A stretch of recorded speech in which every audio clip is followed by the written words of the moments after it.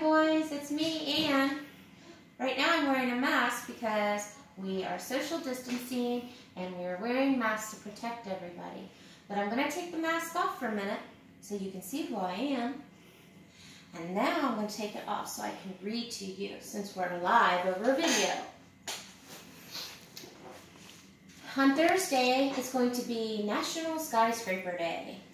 So I am going to read to you a book today called The Busy Building Book, and I would like for you to follow along with me in your video. The Busy Building Book is written by Sue Tarsky, and the pictures are by Alex Ayliffe.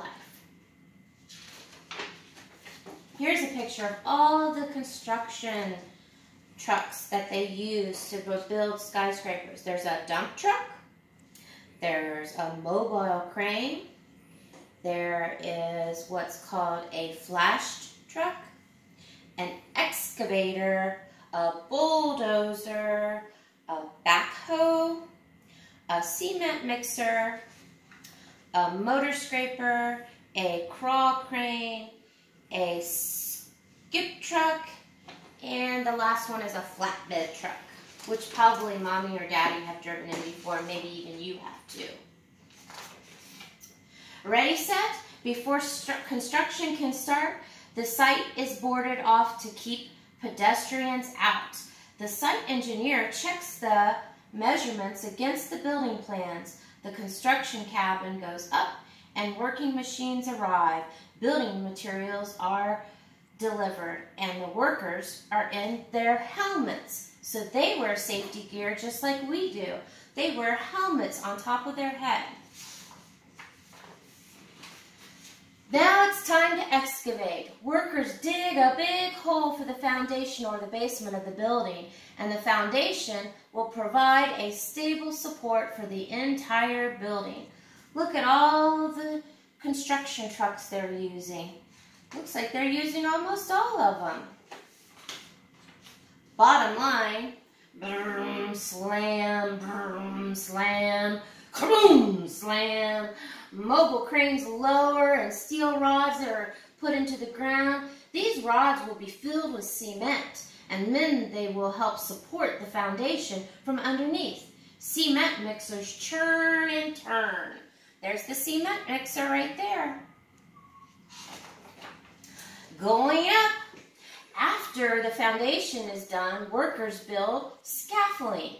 The scaffolding is a temporary platform for workers to stand on when they are working high up. Pedestrians stand and watch. Do you know what a pedestrian is? Pedestrian are people that walk the streets. These are pedestrians. You and I, when we go walking, and when you walk with mommy and daddy, are called pedestrians. Higher.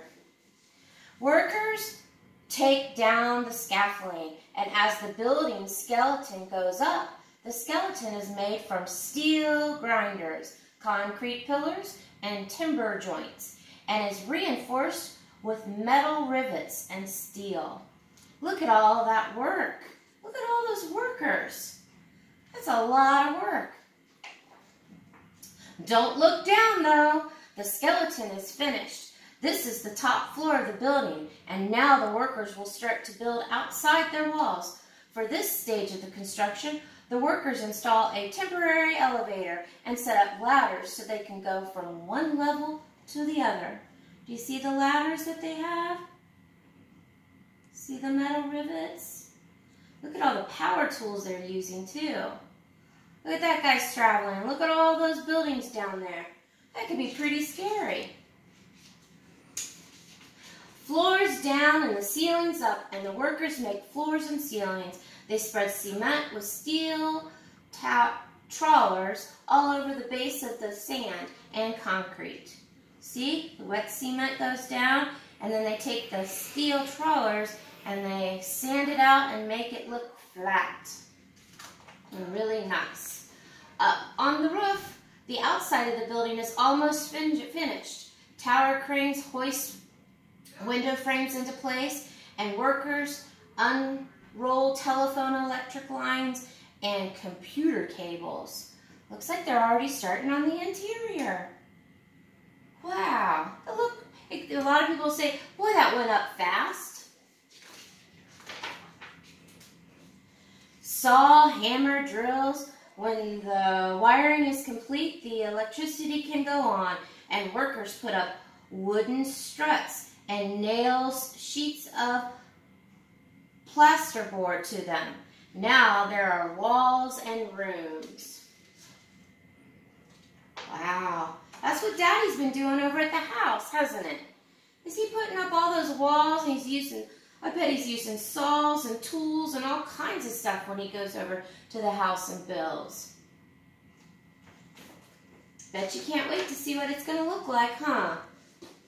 So room at the top. Pipes are installed that will allow for central air and running water. Then doors and carpets and ceiling panels are put in and bathroom fixtures too. Wow, that's a lot of work. Look, he's putting in the sink over here. That's what a bathroom fixture means. He means like the sink and the toilet. Those are bathroom fixtures and the faucet. So moving in, moving in men bring their office furniture, decorate and hang last minute wallpaper, and now it's time to clean and polish. All done, the building is finished. It's opening day and the owners give big speeches while the office staff listens. They are ready to start working in their new building. Hooray! And the sign out front says, welcome. And it was all put together by all these construction trucks.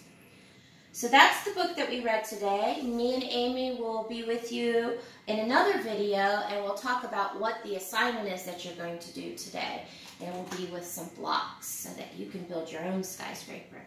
Thanks for staying with me.